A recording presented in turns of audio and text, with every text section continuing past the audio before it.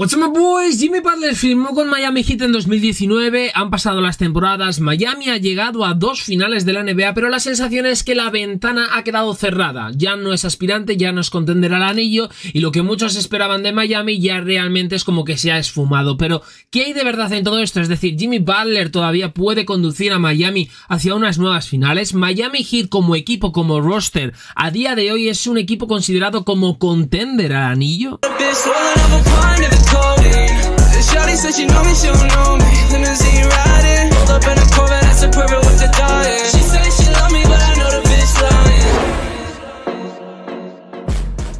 Lo que vais a escuchar ahora es un fragmento de Bill Simmons donde directamente habla de Miami Heat y destaca que es una franquicia que se ha quedado estancada. No es que haya empeorado, pero no ha evolucionado no tanto como otros equipos que les han adelantado en cuanto a esa lucha por ser contender y aspirante al anillo de la NBA. Así que vamos a ver el fragmento, lo vamos a escuchar, luego os lo voy a traducir para que todos os enteréis y vamos a analizar qué pasa con Miami.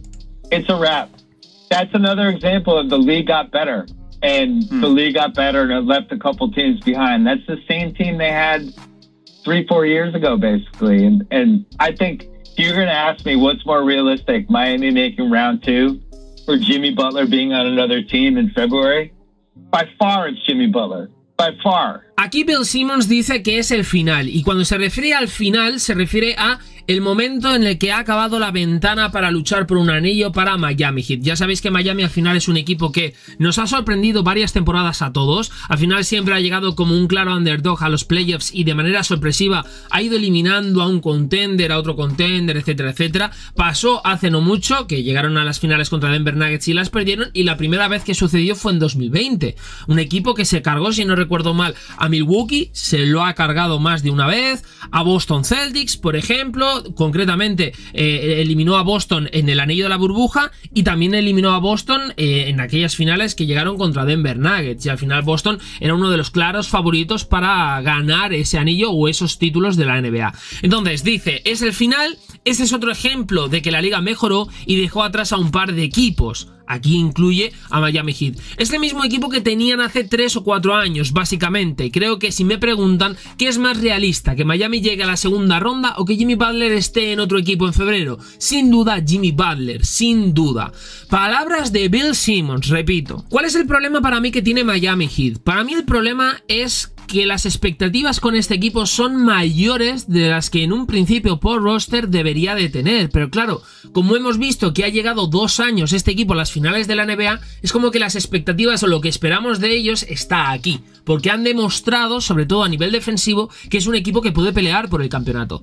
Pero es más mérito de Spoelstra, del nivel de Jimmy Butler, sobre todo en playoffs, que no tanto en temporada regular, de Bama de Bayo, etcétera, etcétera, que el hecho del roster por sí que tiene, por ejemplo, Miami Heat. Tú veías a Denver Nuggets, a aquellos Denver Nuggets que ganaron el anillo y tú decías, tienen potencia, tienen muy buen roster, porque tienes a Nikola Jokic, tienes a Eman Murray, pero alrededor está Aaron Gordon, está Michael Porter Jr., estaba Bruce Brown, estaba Jeff Green, estaba, por ejemplo, KCP, estaba Christian Brown, había un muy buen equipo. Con Los Ángeles Lakers que ganaron en 2020 el anillo a Miami Heat, más de lo mismo, sí, tenías a LeBron James, tenías a Anthony Davis, pero tenías a KCP, tenías a Kuzma, a, a Jabal McGee, tenías por ejemplo a Dwight Howard, tenías a Rayon Rondo. Se permitieron, por ejemplo, el no contar con Avery Bradley porque Bradley era un jugador muy importante y ni siquiera fue a la burbuja y aún así ganaron.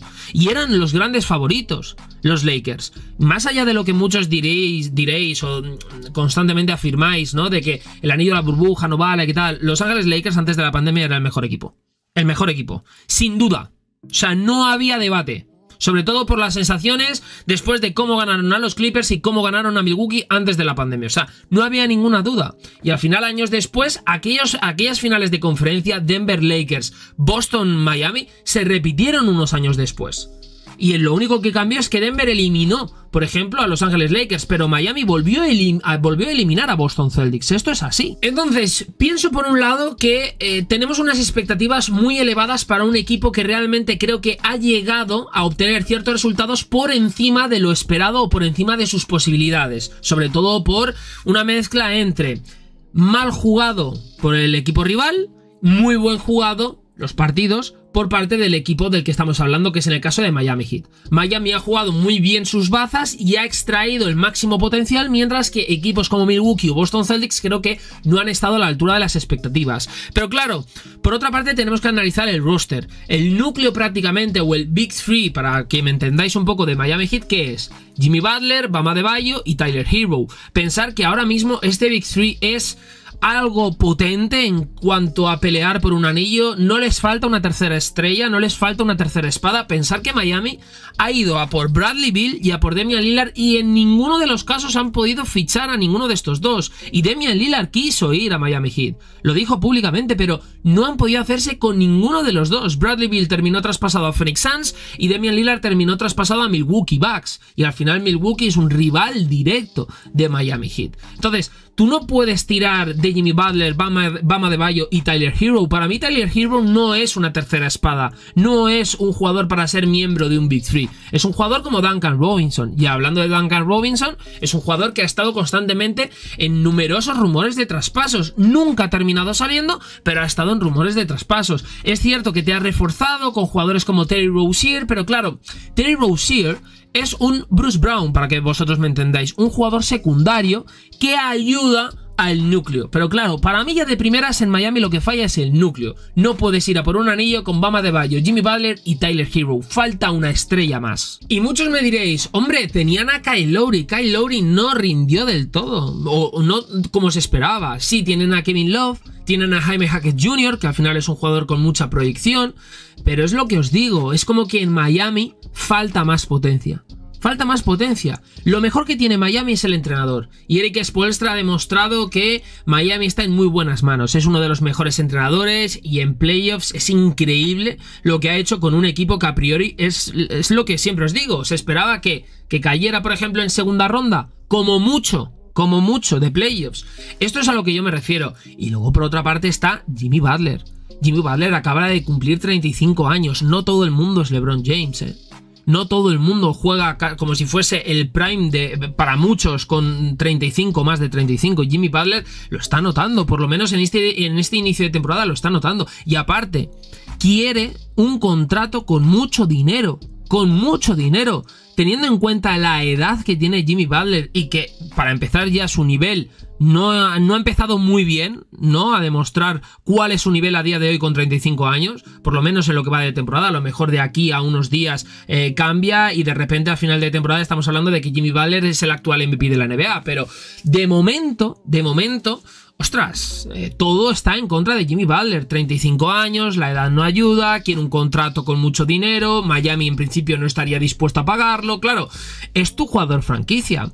Aquí entra el tema de traspaso o no traspaso. Y esto nos lleva directamente a reconstrucción. Yo no me atrevería a decir si Miami debe de hacer a día de hoy una reconstrucción o no, pero que es un equipo con poca profundidad o con una profundidad cuestionable, que han perdido a jugadores que antaño eran importantes como Gabe Vincent o Max Strass, ya no los tienes, que tienes jugadores irregulares como por ejemplo Duncan Robinson, y que tu jugador franquicia es un jugador que tiene 35 años y que ha tenido ya algún que otro partido que es como una especie de toque de atención, al menos ahora mismo, es la realidad.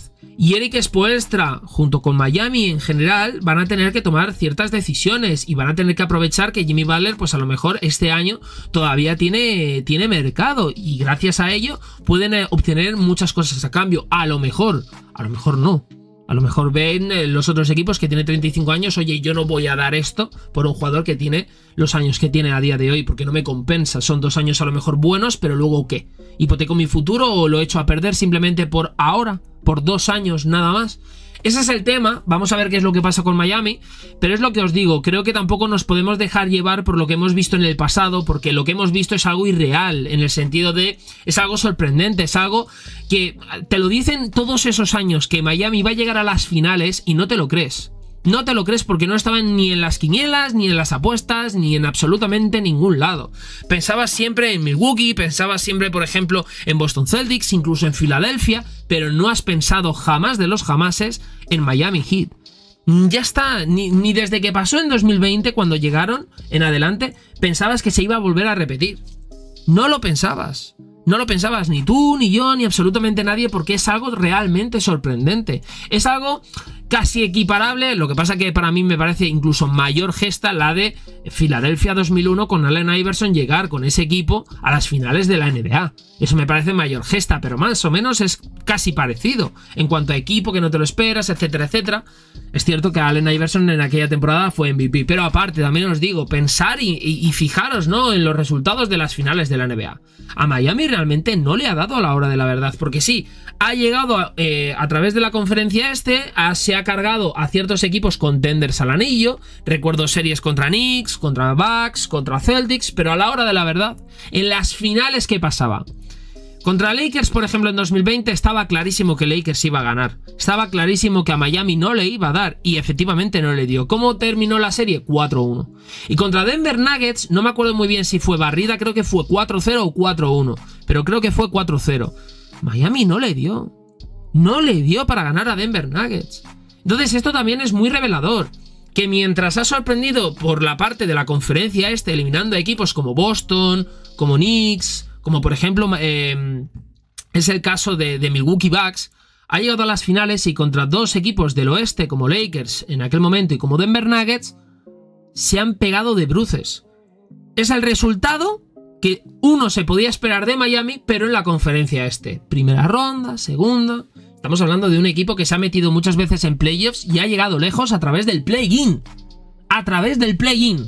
Ni siquiera se han metido en playoffs directos y en, durante la temporada regular ha sido un equipo que ha tenido muchos, muchos debates en cuanto a nivel, muchos problemas, muchas irregularidades. Pero claro, entre una muy buena defensa, un muy buen juego colectivo, sobre todo atrás, y un muy buen juego individual eh, con partidos increíbles de Jimmy Butler, más una muy buena dirección de Eric Spolstra, pues esto es lo que ha impulsado a Miami. Pero claro, ¿cuál es el verdadero nivel de Miami Heat? Ese es el tema. Ahora mismo, ¿qué necesita Miami? ¿Una tercera estrella? ¿Cuál es la gerencia de Miami? ¿Es tan potente como la que juntó a LeBron, Wade y Boss? ¿Y entonces por qué no puedes hacerte con un Bradley Bill o con un Demian Lillard? ¿Cuál es la situación ahora para empezar una hipotética reconstrucción? ¿Tienes los activos suficientes? Todas estas preguntas tienen que dar las respuestas Miami Heat, pero sobre todo la más importante. ¿Qué quieres hacer con Jimmy Butler? ¿Quieres seguir apostando por él como tu jugador franquicia a pesar de que tiene 35 años? ¿Prefieres ir a la agencia libre a riesgo de perderle por absolutamente nada o prefieres traspasarle a día de hoy para obtener algo a cambio y curarte de espanto? Veremos a ver qué pasa con todo esto de Miami, veremos a ver qué decisiones se toman, pero nada, simplemente comentarme aquí abajo en la cajita de comentarios qué pensáis de Miami, dónde creéis que es la, bueno, dónde creéis que está el nivel de Miami Heat, es decir, entre los seis primeros del este, play-in, eliminados directos, qué creéis que va a pasar con la franquicia y qué creéis que va a pasar con Miami, qué haríais con Jimmy Butler, perdón. ¿Os quedaríais con Jimmy, apostaríais por él, le traspasaríais, esperaríais a la agencia libre y ya está? Lo que penséis, estoy por aquí, like, subscribe y nos vemos en próximos vídeos. Cosas de básquet. Chamo boys.